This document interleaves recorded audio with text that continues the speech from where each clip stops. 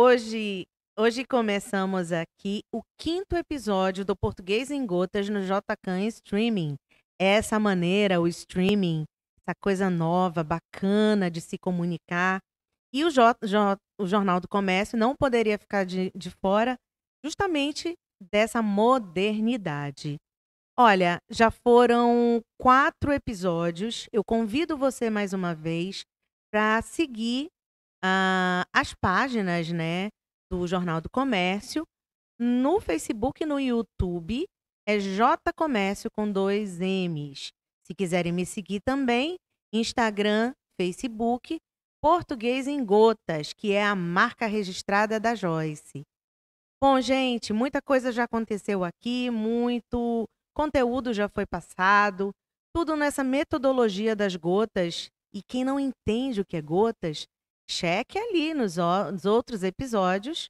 De, de 1 a 3 ali tem muita coisa legal, muita coisa interessante é, para ser agregada. E é isso aí, gente. Sou Joyce Tino e esse é o Português em Gotas.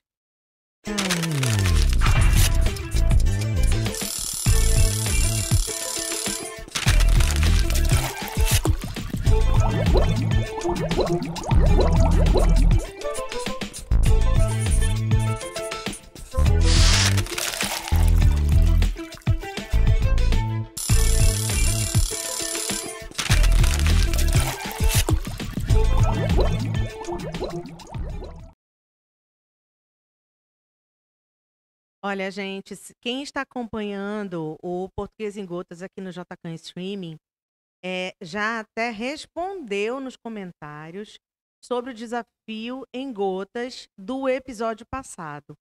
Qual é esse desafio? É o do. Vamos ver se você. É, do tacacá. Então vamos ver o que, que tem aí de errado. Talvez não tenha nada, não é? Sim, eu sou dessa de fazer pegadinha. Sim. Às vezes não tem nada errado e eu lanço um desafio. Mas hoje, gente, tem sim. Vamos ler novamente. Tacacá e amor só presta quem te. Lembra daquele. Ou melhor, não lembram, porque eu ainda não falei isso aqui. Mas sujeito e verbo é, são como um casal apaixonado e altamente fiel, que primam pela fidelidade. Como assim, Joyce? Como assim? Se o su sujeito é composto, ou seja, tem mais de um núcleo, como é que vai ficar o verbo? No singular? Não, no plural. Então, tacacá e amor só prestam quente. Notaram? Essa tava meio na cara, né, gente? Tava meio na cara, mas mas tudo bem. É isso, eu trouxe porque às vezes o que está na cara cega a gente. Observaram isso? Então tá, que mais? Bom, é, é, primeiro de tudo a gente começa respondendo o desafio anterior. Mas vamos ao conteúdo de hoje, que no caso vão ser, como sempre, duas duplinhas. Quatro gotas que equivalem a quatro dicas rápidas língua portuguesa nada a ver ou nada a ver. É. Para você não errar, gente, é só você substituir por nada para ver. Porque, como eu já falei anteriormente, o para e o a têm o mesmo valor semântico, o mesmo significado, sentido. Nada para ver. Não tem nada para ver. Não tem nada a ver. E esse haver aí do verbo haver? O que está fazendo aí, gente? Não, ele está de gaiato porque ele não tem que estar aí. A expressão é nada a ver. Tá bom? Essa primeira. Pois é, além do nada a ver, eu trouxe também uma outra expressão é, que é em detrimento de. É, Ouve-se muito e vê-se também o que é mais grave, né, escrito, uh, essa expressão com o sentido de em relação a. Quando que o sentido real mesmo é, e único dessa expressão é em prejuízo de. Vou dar dois exemplos. A, a, a pessoa entrou com uma ação em detrimento à parte contrária. Ou seja, não é em relação à parte contrária, é em prejuízo. Tá bom? Esse é um exemplo certo do uso de em detrimento. Agora, eu vou é, falar para vocês um exemplo errado. Tá?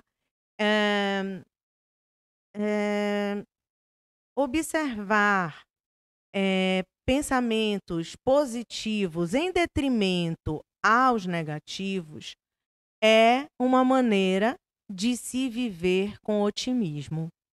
Né? Então não está correto porque é, seria o sentido de em relação a. Só que é, observar sentimentos ah, bons e tudo em detrimento de seria em prejuízo aos ruins. Então notem que esse segundo exemplo é o equivocado. O correto é realmente o anterior. É, e é, para finalizar o nosso, nosso episódio, não se esqueçam que se trata de gotas, né? São episódios rápidos, dinâmicos, com conteúdo, mas a gente preza ah, pela por algo sucinto mesmo. Bom, então qual é agora o desafio em gotas de hoje? Coitada, vamos ver quem é essa aí que está deitada aí.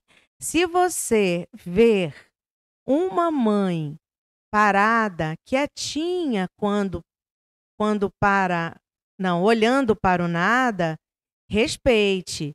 Ela pode estar esperando a alma voltar para o corpo. Bem legal, né? Você vê que são postagens, são posts interessantíssimos.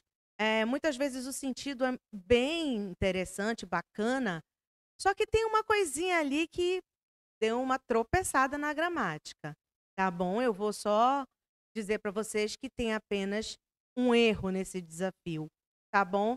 E a resposta dele eu vou dar, mas só no episódio que vem. Abraço, gente. Um abraço a todos. Obrigada.